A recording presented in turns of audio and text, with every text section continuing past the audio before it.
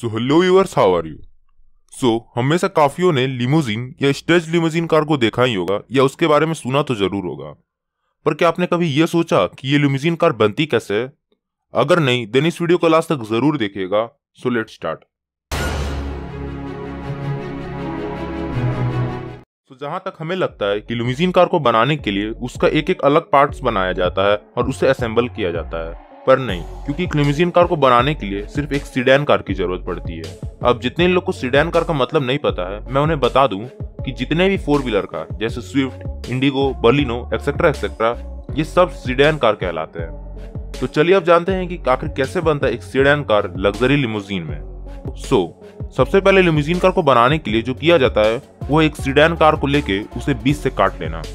जी हाँ सबसे पहले उस सीडैन कार को बीच से सभी पार्ट्स जो बीच में आते हैं, उन्हें हटा के उस कार को बीच से काट लिया जाता है।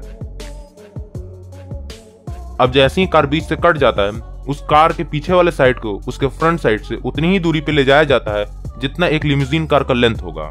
उसके बाद उस कार के फ्रंट साइड में एक मज़बूत स्टील रॉड को लगा के उसके आगे और पीछे से कनेक्ट करके उसे वेल्ड कर दिया जाता है, जैसा आप इस वीडियो में देख रहे हैं।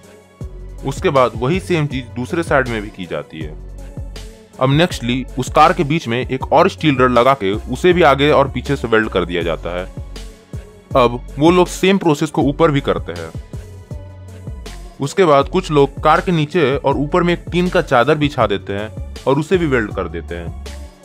अब वो लोग कार के साइड में एक रॉड को लगा देते हैं, जैसा आप इस वीडियो में देख रहे हैं, और उसे भी वेल्ड कर देते हैं।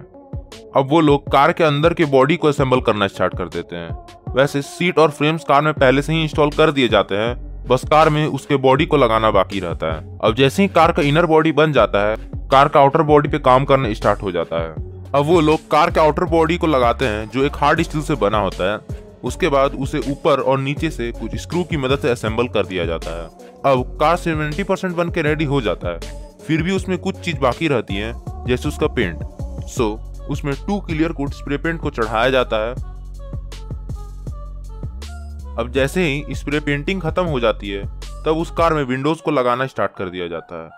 और ऑन द अदर हैंड कुछ लोग कार के इंटीरियर डिज़ाइन को प्रिपेयर करते हैं, जैसे उसके सीट को लगाना disco light cushions etcetera etcetera अब जैसे ही ये सब काम खत्म हो जाता है, एक कार के इंजीनियर कार में सभी वायरिंग और मैकेनिक्स को इंस्टॉल कर देता है, जैसे उसकी disco light system controller LED headlight etcetera etcetera अब जैसे ही ये सब कंप्लीट हो जाता है, तब कार में मैट बिछा दिया जाता है और उसके सभी चीज़ चाहे वो वाइपर हो या गियर बॉक्स सभी चीज़ को एक बार अच्छे से चेक किया जाता है और उसके बाद उसे एक टेस्ट ड्राइव के लिए भेज दिया जाता है। अब अगर कार में कोई दिक्कत नहीं होती है तब कार को फाइनलाइज कर दिया जाता है। सो so, अब आप समझ चुके होंगे कि आखिर एक लिमोजीन एक सीडैन से कैसे बदलती है। अब अगर आपको ये वीडियो थोड़ा सा भी अच्छा लगा हो देन इस वीडियो को लाइक कीजिए सब्सक्राइब कीजिए और अपने दोस्तों के साथ इसे शेयर करने की कोशिश कीजिए। मैं आपसे मिलता हूँ जल्द ही एक नई वीडियो में। तब तक के लिए जय हिंद, जय भारत।